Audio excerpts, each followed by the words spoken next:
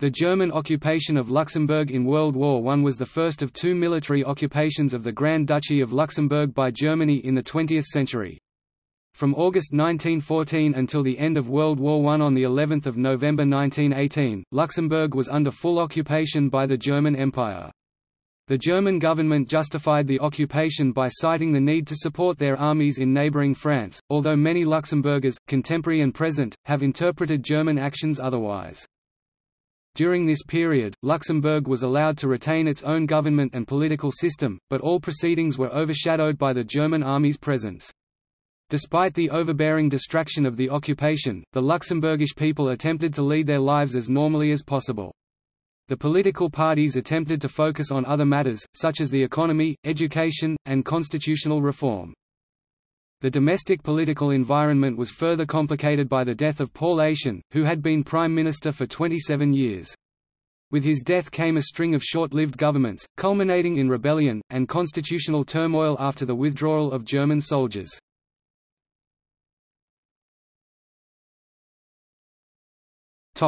Background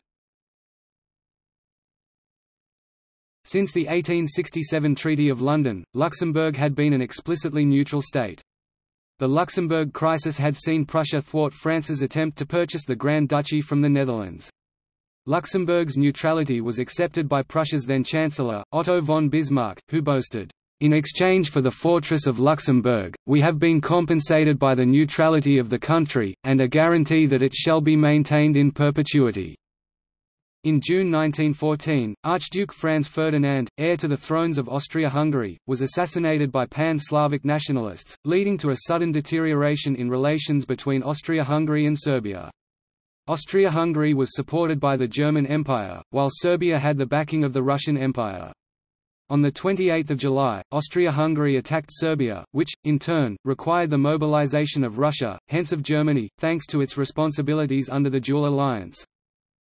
Anticipating a retaliatory declaration of war from Russia's closest Western ally, France, Germany put into action the Schlieffen Plan.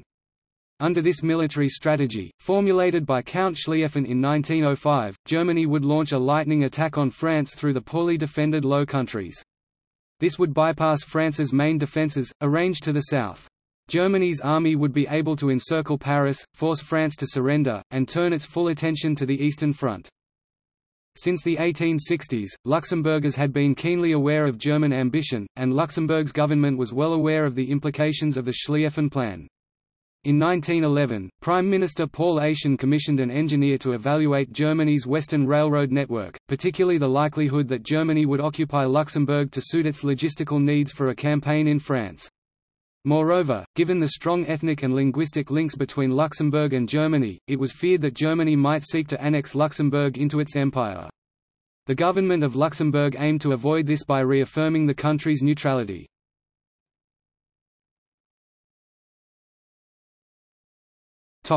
Invasion On 1 August 1914, Germany declared war on Russia. On the outbreak of war with its eastern neighbour, Germany put the Schlieffen Plan into action, and Luxembourg's government's fears were realized. Initially, Luxembourg was only a transit point for Albrecht von Württemberg's Fourth Army. One of the railways from the northern Rhineland into France passed through Trois Vierges, in the far north of Luxembourg, and Germany's first infringement of Luxembourg's sovereignty and neutrality was the unauthorized use of Trois Vierges station. Eyschen protested, but could do nothing to prevent Germany's incursion. The next day, while French troops were still at a distance from the German frontier, Germany launched a full invasion. German soldiers began moving through southeastern Luxembourg, crossing the Moselle River at Remich and Wasserbillig, and headed towards the capital, Luxembourg City. Tens of thousands of German soldiers had been deployed to Luxembourg in those 24 hours although the Grand Duchy's government disputed any precise number that was suggested. Grand Duchess Marie Adelaide ordered that the Grand Duchy's small army, which numbered under 400, not to resist. On the afternoon of 2 August she and Eyschen met the German commander Oberst Richard Karl von Tessmar on Luxembourg City's Adolf Bridge, the symbol of Luxembourg's modernization. They protested mildly, but both the young Grand Duchess and her aging statesman accepted German military rule as inevitable. On 2 August, German Chancellor Theobald von Bethmann Hollweg justified the complete occupation of Luxembourg in terms of military necessity, arguing that France was ready to invade Luxembourg itself. The French minister in Luxembourg dismissed this argument, claiming that it would not have considered violating Luxembourg's neutrality unless Germany had done so first. Bethmann Hollweg attempted to prove his country's regret by offering Luxembourg compensation for the losses due to the military presence. On 4 August, Bethmann Hollweg told the Reichstag, However, when it seemed that Germany was on the verge of victory, the Chancellor began to revise his statements.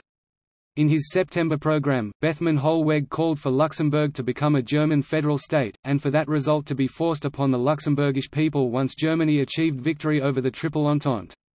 However, the British and French halted the German advance at the Battle of the Marne in mid-September. This resulted in the indefinite continuation of German occupation.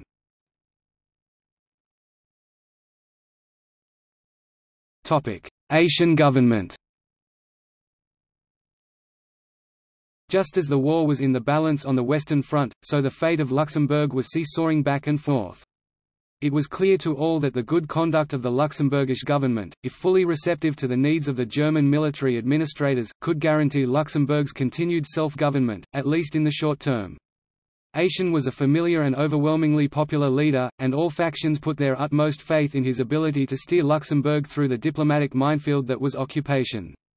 On 4 August 1914, he expelled the French minister in Luxembourg at the request of the German minister, followed by the Belgian minister four days later and the Italian minister when his country entered the war.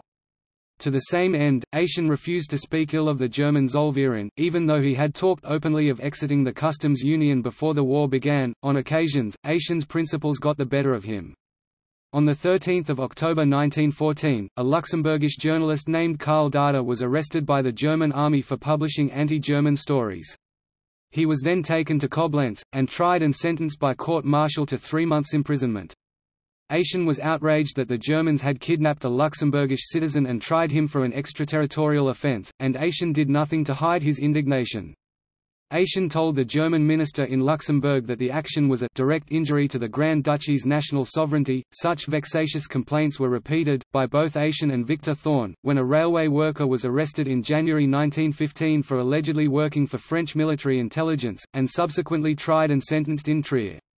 As Minister for Justice, Thorn was incensed that the Luxembourgish legal system had been treated with such disdain. Such objections were not received well by the German authorities. Although they tired of Eyschen's stubborn ways, he remained a useful tool to unite the various Luxembourgish political factions.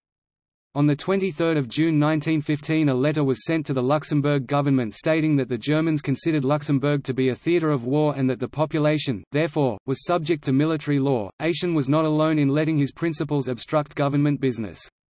In the summer of 1915, Eyschen pushed to further reduce the role of the Catholic Church in the state school system.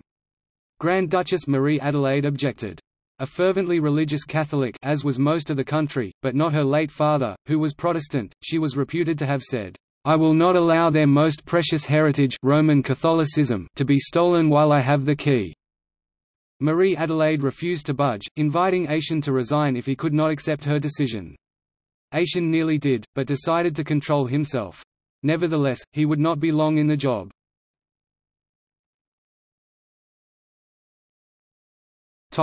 After Eyschen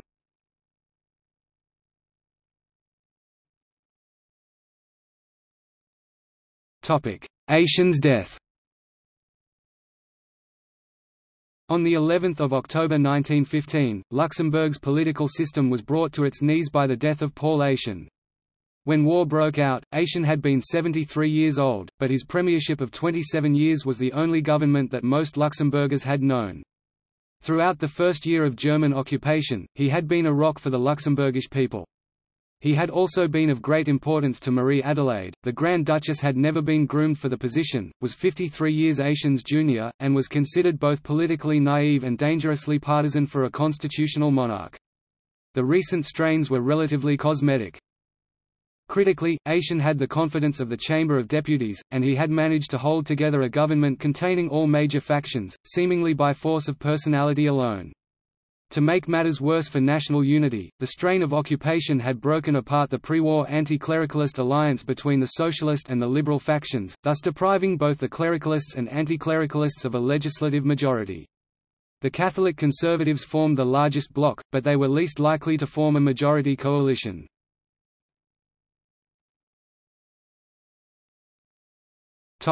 Mongenast government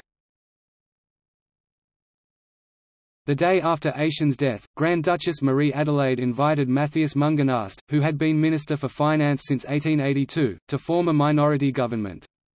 Mongenast's special status as a caretaker prime minister is underlined by his official title. He was not president of the government, as all other prime ministers since 1857 had been, but held the lesser title of president of the council. Mongenast's administration was never intended to be long-lived, and Marie Adelaide's main objective when appointing the experienced Mongenast was to steady the ship. Nevertheless, nobody expected the government to fall as soon as it did. On 4 November 1915, Mongenast nominated a new candidate for head of Luxembourg's École Normale. The nomination did not meet with Grand Ducal approval, and Marie Adelaide rejected him. Mongenast persisted, education had been a hobby horse of his, and he imagined that the Grand Duchess would accept the advice of a minister as experienced as he was. He was wrong, the Grand Duchess had always been single-minded, and resented a minority prime minister, particularly one so new to the job, making demands of her. The next day, Mongenast resigned, just 25 days after being given the job.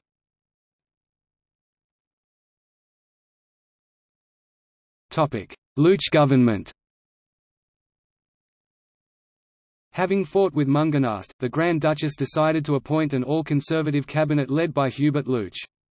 The Chamber of Deputies was steadfastly opposed, the Party of the Right held only 20 seats out of 52, but they formed the plurality. Marie Adelaide sought to end this deadlock by dissolving the Chamber of Deputies and by calling for the voters to grant a mandate to the Conservatives. This outraged the left, which assumed that its deputies alone had the constitutional right to grant the government confidence. It was dubbed by those on the left a coup d'état by the Grand Duchess. Nonetheless, on 23 December 1915, Luxembourg went to the polls. Although the position of the Party of the Right was improved, taking 25 seats, it fell a whisker short of winning an absolute majority. On the 11th of January 1916, the Chamber of Deputies passed a motion of no confidence, and Loutsch resigned.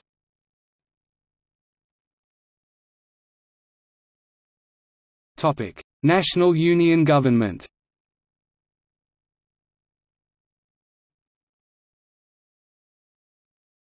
Topic: Forming a consensus. After the failure of the all-conservative government, the Grand Duchess turned to the leading liberal politician, Victor Thorn, to form a new government. After Eyschen's premiership of 27 years, two governments had come and gone in three months, and the Luxembourgish people were becoming disillusioned with the failure of the politicians. Thorn's nature was to be a conciliatory leader, and he made a direct appeal to the Chamber of Deputies to support his government, no matter the deputies' individual ideological persuasions. If you want a government that acts, and is capable of acting, it is imperative that all parties support this government. This support was forthcoming from all parties, but only on the condition that each was invited into the government. Thorn was left with no choice but to afford them this. The resulting Grand Coalition cabinet included every leading light in Luxembourgish politics. Besides Thorn himself, there were the conservatives Leon Kauffmann and Antoine Lefort, the socialist leader Dr. Michel Welter, and the liberal Leon Moutrier.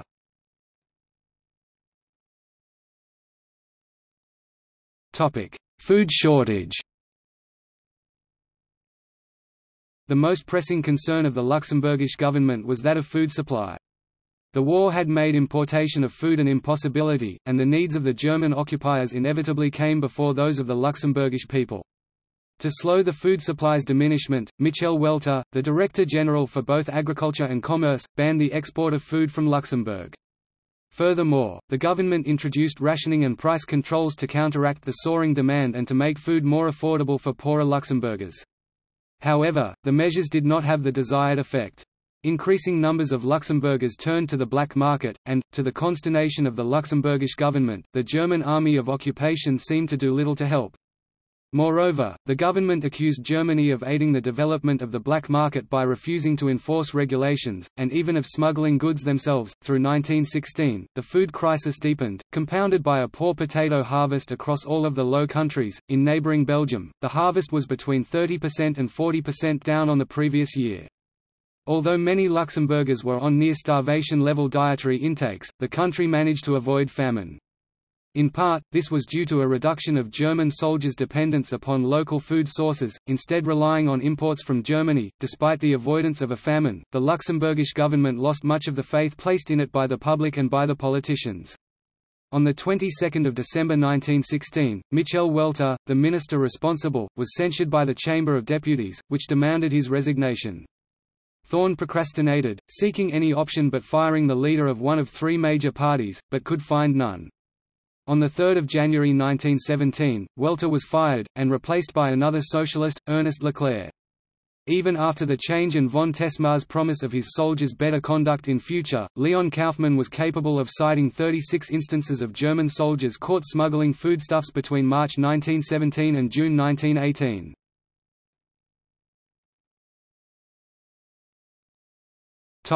Miners' strike Discontent amongst the population grew constantly, particularly in the country's industrialized south.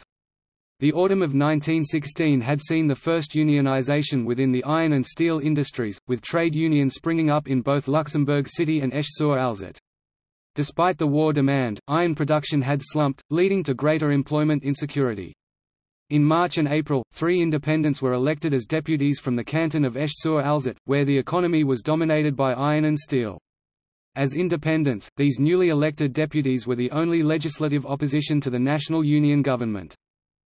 For many Luxembourgers, particularly the miners, expression of disgust at the government could not be directed through the ballot box alone.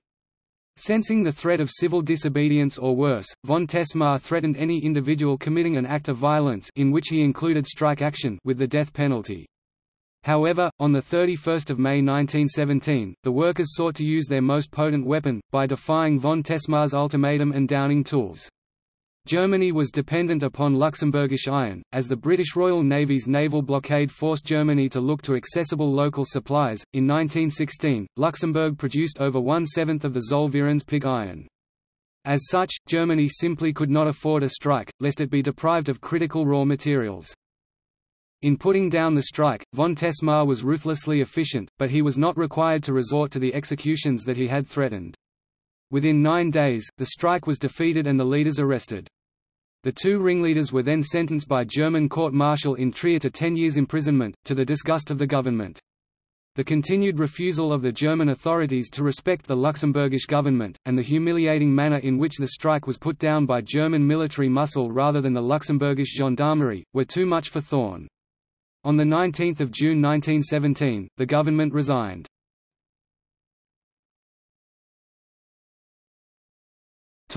Kauffmann government Although the experiment in Grand Coalition had failed, the need for some political unity remained. As the National Union government was collapsing, Kauffmann arranged an alliance between his party of the right and Moutrier's Liberal League, seeking to achieve change that would outlive the occupation. The primary objective was to address the perennial grievances of the left by amending the constitution. In November 1917, the Chamber of Deputies launched a wide-ranging series of debates on various amendments to the constitutions. Ultimately, the constitution was amended to prohibit the government from entering into secret treaties, to improve deputies' pay hitherto set at just 5 francs a day, to introduce universal suffrage, and to change the plurality voting system to a proportional one. Whereas all of the above measures were broadly popular, across most of the political spectrum, the same was not true of the proposal to amend Article 32. Said article had not been amended in the overhaul of 1868, and its text had remained unchanged since the original constitution of 1848, stating unequivocally that all sovereignty resided in the person of the Grand Duchess. For some, particularly those that resented the close relations between Marie Adelaide and the German royalty, the idea of national sovereignty residing in such a person was unacceptable. The Chamber of Deputies voted to review Article 32, but Kauffmann refused to allow it, seeing the redefinition of the source of national sovereignty as covert republicanism. The summer of 1918 saw a dramatic decline in the fortunes of the government. On 8 July, Clausen, in central Luxembourg City, had been bombed by the British Royal Air Force, killing ten civilians. Although this did not endear the Allies to Luxembourgers, the Grand Duchess' instinct was to run to the Germans, who were even less popular amongst the people. On 16 August, German Chancellor Georg von Hertling paid a visit to Luxembourg, although Hertling asked only to see the Grand Duchess, Kauffmann asked that he also attend. To the Luxembourgish people, relations between the two countries now seemed unambiguously cordial, and all that was left of Kauffmann's credibility disappeared. This was compounded further by the news on 26 August of the engagement of the Grand Duchess' sister, Princess Antonia, to Crown Prince Ruprecht of Bavaria, who was General Feldmarschall in the German army. Pressure mounted on Kauffmann, with his party still strong, but with his personal reputation shattered, he was left with no option but to resign, which he did on 28 September in favour of Emil Reuter, another conservative.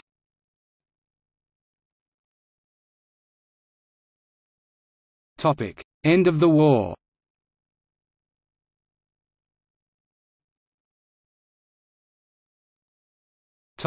Armistice By the autumn of 1918, Germany's position in the war was becoming untenable. The massive spring offensive had been an unmitigated disaster, whereas the Allied counterattack, the Hundred Days Offensive, had driven the German army back to its own borders. On 6 November, von Tessmar announced the full withdrawal of German soldiers from Luxembourg. Five days after von Tessmar's announcement, Germany signed an armistice treaty, which brought an end to the war of four years. One of the terms of the armistice involved the withdrawal of German soldiers from Luxembourg. Along with the other occupied countries, the Allied powers agreed that the German withdrawal from Luxembourg would be observed by the United States, and that the United States would receive the honor of liberating the captive country. On 18 November, American General John Joseph Black Jack Pershing, Commander-in-Chief of the American Expeditionary Force on the Western Front, issued a proclamation to the people of Luxembourg, stating that the United States' newly formed Third Army would move through Luxembourg to occupy the German Rhineland, but that the Americans would come as allies and as liberators. After four years of violation of its territory, the Grand Duchy of Luxembourg is to be fortunately liberated. American troops enter the Grand Duchy of Luxembourg as friends, and will abide rigorously by international law. Their presence, which will not be extended longer than is absolutely necessary, will not be a burden upon you. The operation of the government and institutions will not be impeded. Your lives and livelihoods will not be disturbed. Your person and your property will be respected. The following day, American soldiers crossed the Franco-Luxembourgish border. Everywhere, they were feted as liberators, in the spirit that Pershing had intended to inspire, and were met by bands and civilians waving flags, and were adorned with flowers. Luc Housse, the mayor of Luxembourg City, told the advancing American army that the Germans had, on the whole, been disciplined and well behaved in the previous three weeks, a marked improvement upon his numerous complaints earlier in the conflict. Finally, on the 22nd of November 1918, the German army completed its withdrawal from Luxembourg, ending its occupation. Germany's defeat created the perfect opportunity for the Allied powers to resolve the Luxembourgish question once and for all. By removing Luxembourg from Germany's sphere of influence, they hoped to guarantee its continued independence, and thus preserve the peace they had won. On 19 December, at the instigation of the British and French governments, the Luxembourgish government announced its withdrawal from the Zollverein and an end to the railway concessions that Luxembourg had previously granted Germany.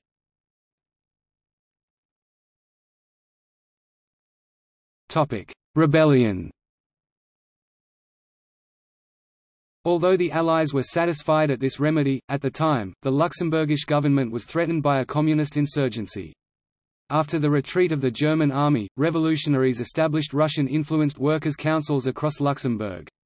On 10 November, the day after Karl Liebknecht and Rosa Luxemburg declared a similar «socialist republic» in Germany, communists in Luxembourg City declared a republic, but it lasted for only a matter of hours. Another revolt took place in Esch-sur-Alzette in the early hours of the 11th of November, but also failed. The Socialists had been fired up by the behavior of Grand Duchess Marie Adelaide, whose interventionist and obstructive streak had stymied even Eyschen. On 12 November, Socialist and Liberal politicians, finding their old commonality on the issue, called for her abdication. A motion in the Chamber of Deputies demanding the abolition of the monarchy was defeated by 21 votes to 19 with three abstentions, but the chamber did demand the government hold a popular referendum on the issue. Although the left's early attempts at founding a republic had failed, the underlying cause of the resentment had not been addressed, and, as long as Marie Adelaide was Grand Duchess, the Liberals would ally themselves to the Socialists in opposition to her. The French government also refused to cooperate with a government led by a so-called collaborator. French Foreign Minister Stephen Pichon called cooperation a grave compromise with the enemies of France.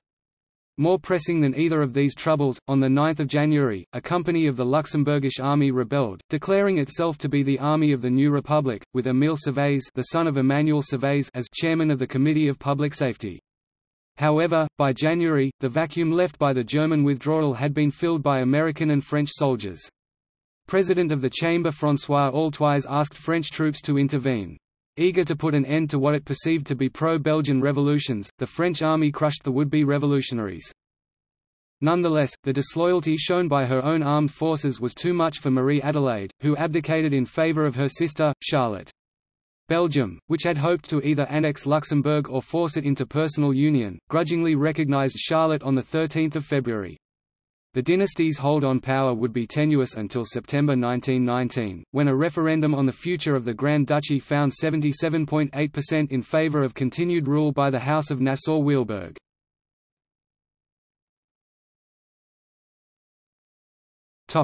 Paris Peace Conference Despite the armistice ending the war, and the end of the revolts, Luxembourg's own future was still uncertain. Belgium was one of the countries hit hardest by the war, almost the whole of the country was occupied by Germany, and over 43,000 Belgians, including 30,000 civilians, had died as a result. Belgium sought compensation, and had its eye on any and all of its neighbours. In November 1918, Lord Hardinge, the permanent secretary at the Foreign Office, told the Dutch ambassador in London, the Belgians are on the make, and they want to grab whatever they can. From early 1919, Belgium engaged in a propaganda campaign to promote its vision of annexation. At the Paris Peace Conference, the Belgian delegation argued in favour of the international community allowing Belgium to annex Luxembourg. However, fearing loss of influence over the left bank of the Rhine, France rejected Belgium's overtures out of hand, thus guaranteeing Luxembourg's continued independence. The resulting Treaty of Versailles set aside two articles Section 40 and Section 41 to address concerns for Luxembourg's status. The main article, Section 40, revoked all special privileges that Germany had acquired in Luxembourg, with Germany specifically renouncing advantages gained in the treaties of 1842, 1847, 1865, 1866 February 1867, May 1867, 1871, 1872, and 1902. The effects of these treaties' revocation were then explicitly stated, Luxembourg would withdraw from the Zollverein, Germany would lose its right to use the Luxembourgish railways, and Germany was obligated to recognize the termination of Luxembourg's neutrality, thus validating the actions of the Luxembourgish government since the armistice. Furthermore, to prevent economic embargo after the end of the customs union, the treaty allowed Luxembourg an indefinite option on German coal, and prohibited Germany from levying duty on Luxembourgish exports until 1924.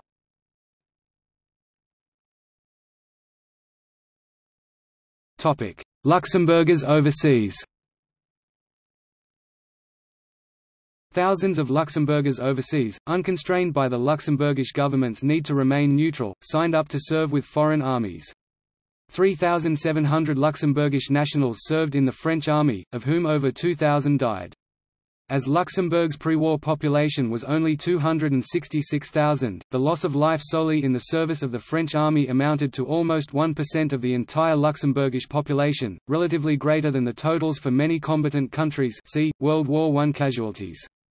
The Luxembourgish volunteers are commemorated by the Gëlle Fra literally Golden Lady War Memorial, which was unveiled in Luxembourg City on 27 May 1923.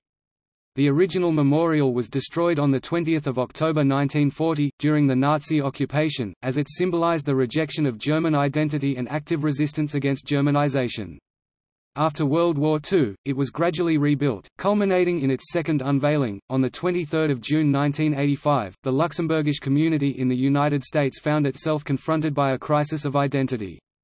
Traditionally, they had identified themselves as ethnically German, rather than as a separate community of their own. As such, they read German-language newspapers, attended German schools, and lived amongst German Americans. Nonetheless, when it became apparent that the war would not be over quickly, the opinions of Luxembourg Americans changed. On the 2nd of May 1915, the Luxembourger Brotherhood of America's annual convention decided to adopt English as its only official language.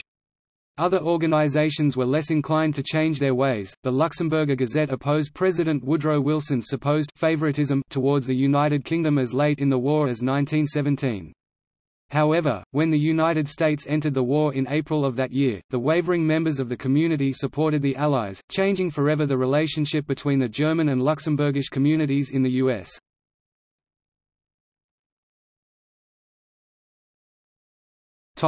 See also German occupation of Luxembourg in World War II